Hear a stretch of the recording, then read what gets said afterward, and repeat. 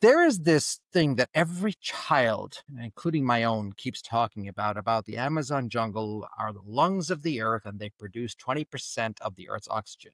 What's the truth? What's really the truth? Let's let's let's talk about that. So, Gaby, maybe you can you you can start us off. What what is the real answer? Yes. So it is a, it is a basic um, knowledge that we learn in school, right? A photosynthesis, right? The plants uh, will go will absorb all this CO2 from the atmosphere, and then through the light, through water, they release all this oxygen out. No, that's mm-hmm. right. That's that's the process. And being the Amazon, um, the largest uh, rainforest, like continuous rainforest in the world, you might think, okay, oh my God, this is this is huge, over five million square kilometers they should release a lot tons of oxygen out.